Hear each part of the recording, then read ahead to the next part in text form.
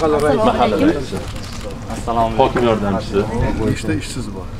To'rt yuz bitta ishsiz aniqlaganman to'rt yuz bittadan mana sizni qaroringizga muvofiq e, o'n sotkalik yerlardan to- e, yuz nafar fuqarolarga yer ajratib berdik. Bular xususan bir yuz o'n to'rt nafarini doimiy ishga joyladik. Oltmish ikki nafarini o'zini o'zi band qilish yo'nalishi bilan joyladik.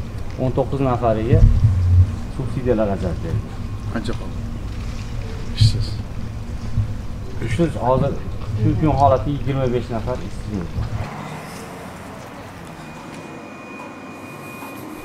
assalomu alaykum voy assalomu siz mana yangi uylarimga uylarni ko'rishga Voy, voy, voy. yechirib kiring yo'q yo'q ana qizim yaxshimisiz sog'lik yaxshimi to'kin yurtimiz tinch bo'lib obod bo'lib mana shu andijonda tinchlik bo'lib osoyishtalik bo'lsa har bir xonadon baxtli bo'lsa menga bundan katta boylik yo'q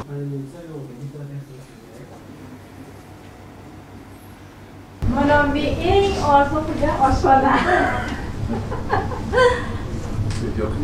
Bemalol mehmonlarga qiyinlanmasdan taom pishirib bemalol kutib oladigan oshxona. Oldin erkaldim birov kelsa. Tashqarida sovuqda o'ta yaqin.